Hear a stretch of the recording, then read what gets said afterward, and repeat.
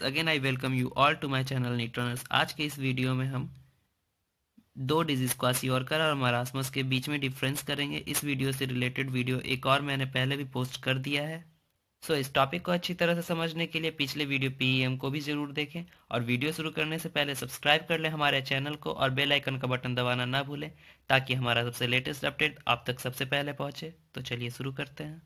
सो so, जो दोनों ही डिज़ीज़ है क्वासियोरकर और मरासमस दोनों ही माल न्यूट्रिशन प्रॉब्लम है मतलब कुपोषण का, जिसको हम हिंदी में कुपोषण कहते हैं। Actually this are protein deficiency problem इसमें मेनली क्या होता है कि प्रोटीन की कमी हो जाती है इस भी इन दोनों बीमारी में।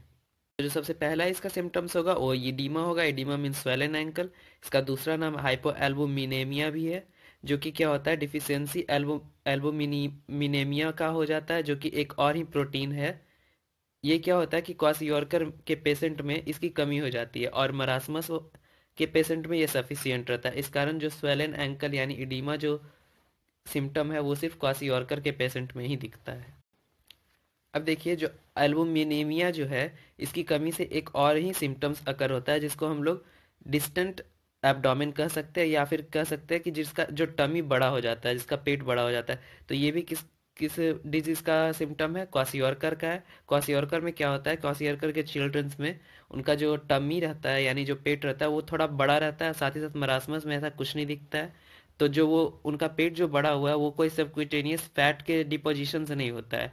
वो एल्बुमिनेमिया प्रोटीन की कमी से हो जाता है। अब देखिए, जो दूसरा सिम्टम है, वो है hepatomegaly that means enlargement of the liver इसमें क्या होता है कि लीवर बड़ा हो जाता है। Which is present in the case of kwashiorkor ये सिर्फ़ और सिर्फ़ क्वासियोरकर के पेशेंट में ही दिखेगा और इसको कहा गया है hallmark of the kwashiorkor patient यानी अगर कोई भी क्वासियोरकर का पेशेंट है तो उसमें पक्का है कि उसका, उसमें हेपेटोमेगैली होगा ही।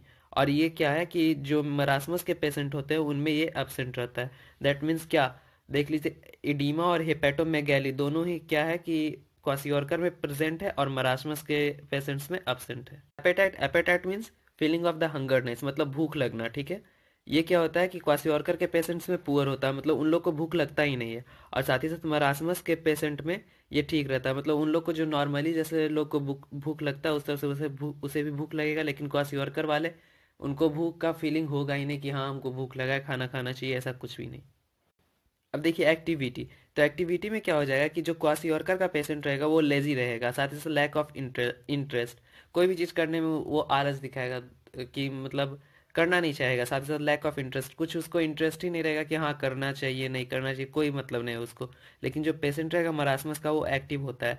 एक्टिव होता तो है एक्चुअली एक्टिव नहीं होता है, लेकिन देखिए they want to be active वो एक्टिव होना चाहता है, साथ ही साथ इंटरेस्ट भी उसको रहता है, लेकिन उसके शरीर में भी एनर्जी की कमी रहती है.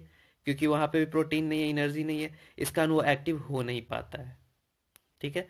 तो एक देखिए, क्वासियरकर जो है वो पूरी तरह से लेजी है, उसमें रहे एनर्जी, ना रहे वो लेजी ही रहेगा, वो उसका इंटरेस्ट उसमें नहीं रहेगा वो काम करने में, लेकिन मरासमस का पेशेंट जो रहेगा वो करना चाहेगा, लेकिन एनर्जी की कमी के कारण वो कर नहीं पाएगा। In the case of kwashiorkor, the skin is dry and scaly, this is the flag sign of this disease. ये जो क्वासी वर्कर के पेशेंट होंगे, उनका क्या होता है कि स्किन ड्राई रहता है स्केली रहता है मतलब रुखड़ा रुखा रफनेस उनके स्किन में रहता है और इसी को हम लोग flag sign of this disease कहते हैं। यानी जो आराम से ऊपर से दिख जाएगा, जिसको कह सकते हैं कि आसानी से कोई भी जिसे देख ले वैसा ये, इसका कैरेक्टर ये कैरेक्टर है क्वासियोरकर का। लेकिन मरासमस के पेशेंट में ये क्या होता है कि बहुत ही कम होता है। क्वासियोरकर के अपेक्षा में बहुत ही कम रहता है। तो इसका आइडेंटिफाई हम लोग आराम से कर लेते हैं कि कौन सा पेशेंट क्वासियोरकर का है और कौन सा मरासमस का। रिकवरी की बात हुई कि क्वासियोरकर का पेशेंट कितना जल्दी रिकवर करेगा और मरासमस का कितना जल्दी रिकवर करेगा।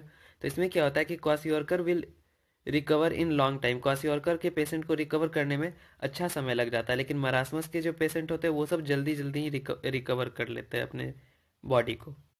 देखिए मॉर्टलिटी रेट मतलब मरने के चांसेस कितना रहता है पेशेंट का तो वो क्वासियोरकर के पेशेंट में जो अर्लीस्ट स्टेज होता है क्वासियोरकर का, उन्हीं, उसी टाइम से ज़्यादा मॉर्टलिटी रेट उसका रहता है। कि मतलब जो शुरुआत हुआ है क्वासियोरकर डिज़ीज़ का उसमें तभी जा करके लगता है कि मतलब वो बच्चा जो है वो डेड हो जाएगा। लेकिन मरासमस के केस में क्या होता है कि मोर्टेलिटी रेट जो रहता है वो क्वासियोरकर से बहुत ही ज़्यादा कम रहता है। यानी mortality rate in the case of marasmus the mortality rate is less than the kwashiorkor kwashiorkor से बहुत ही ज़्यादा कम रहेगा। So the question is when best feeding is replaced by less less food low in protein calorie the infant below the age of one year year like to suffer from. Option is marasmus rickets kwashiorkor and pneumonia. Question कह रहा है कि breast feeding अगर बच्चे का हटा दिया जाए किसी बच्चे का और उसका जो फ़ूड मटेरियल है उसमें से प्रोटीन और कैलोरी को कम कर दिया जाए, और उसका एज लिमिट कितना दिया वन ईयर्स, वन ईयर के एज में तो वो कौन सी बीमारी से सफ़र करेगा? तो याद कीजिए कि रिकेट जो है वो विटामिन डी की कमी से होता है। निमोनिया एक कॉमन डिज़ीज़ है। क्वासीऑर्कर का एज लिमिट क्या है? एटीन मंथ्स के ऊपर के बच्चों में होता है। और मरासमस क्या?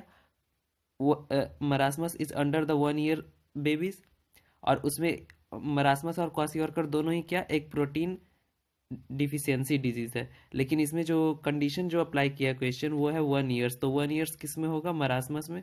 So the option correct option is option number A तो गाइज़ इस वीडियो में इतना ही। सब्सक्राइब करना ना भूलें और बेल आइकन को दबाना भी।